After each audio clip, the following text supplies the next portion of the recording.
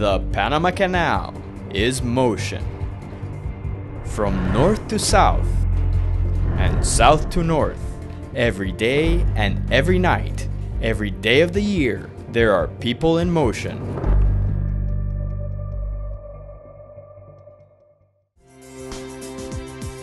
It serves the world as an ever available link, always ready for trade.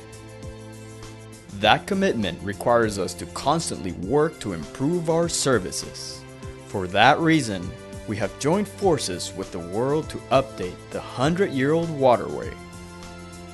The Panama Canal Expansion Program is the largest infrastructure undertaking ever for this young republic. It is the spearhead of our commitment. The tasks involved are varied and vast. We are building and transforming the natural surroundings to add a third lane of transit for our operations. One that enables passage by post Panamax vessels across the all water route. To date, we have completed more than three quarters of the work required. Some 36,000 men and women have fused science and passion into the application of the best modern engineering practices. In the sun and the rain, workers continue with their mission. They come, go, sacrifice, and give it their all. Some on the ground, others in the air. The goal to build the new locks. Wider, deeper, longer. This project constitutes the component with the largest budget and the greatest complexity under the program. Today, its shape is clearly defined. More than 4 million cubic meters of concrete have been poured at both construction sites, with some 42 million cubic meters of dirt and rock excavated and transported to designated disposal areas. The hard basaltic rock found in the Pacific site has been mined to produce aggregate for the concrete that will be used to construct the lock's walls and floors. Also, to connect the locks to the new channel, three dams are being built under this project at the north end of the lock complex. Nearby the construction, two barges make daily journeys to the Atlantic site, 80 kilometers north. They carry 40,000 tons of basalt every week, used to prepare the concrete mixes that are shaping the locks. Modern industrial parks, exclusively assembled for the construction, were installed on each site. There, the rock is crushed, steel is cut, and equipment is serviced. This great lock has been molded by the hands of thousands of workers.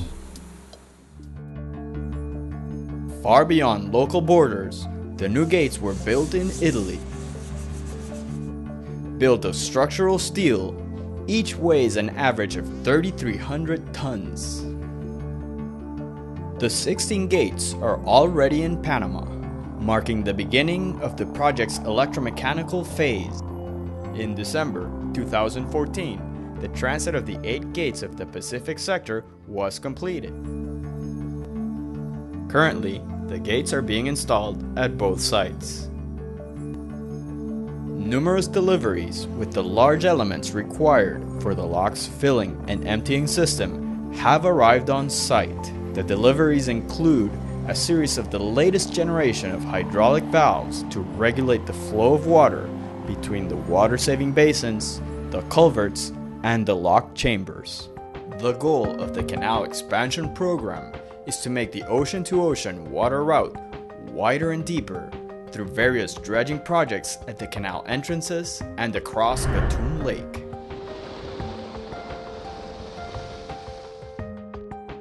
The stretch across the Continental Divide, the famous insidious Culebra Cut, is in the final stages of its transformation. Its curves have been straightened and its depth increased. The aids to navigation are being realigned for the wider reaches. The new cut will connect the new locks on the Pacific side through a new channel separate from the existing canal. Through four dry excavation phases, we moved thousands of tons of dirt, removing several large hills. Having reached the required depth, we are now building a 2.3 kilometer long dam to separate the waters. This new dam will be known as Borinquen. The program includes provisions to increase our freshwater reservoir. The project to increase the maximum operating level of Gatun Lake entails the modification of existing canal structures to add an additional 45 centimeters of water above the existing level of its 423 square kilometer span. This will add some 200 million cubic meters of water to our waterway flow. The expansion program is also benefiting local forests. More than 800 hectares of land have been reforested as compensation for altering the flora in the areas surrounding the projects. Thousands of animals have been rescued and relocated to protected zones. The program has also made important contributions to the world of science, with the discovery of significant archaeological and paleontological findings in dredging and dry excavation sites. Panama has been the crossroad of the world for hundreds of years. The Panama Canal expansion is now widening this pathway where nations meet. The work is being conducted by an up and coming nation with growth and development as its goals. We are shaping the scientific and technological legacy we will leave for the benefit of the world.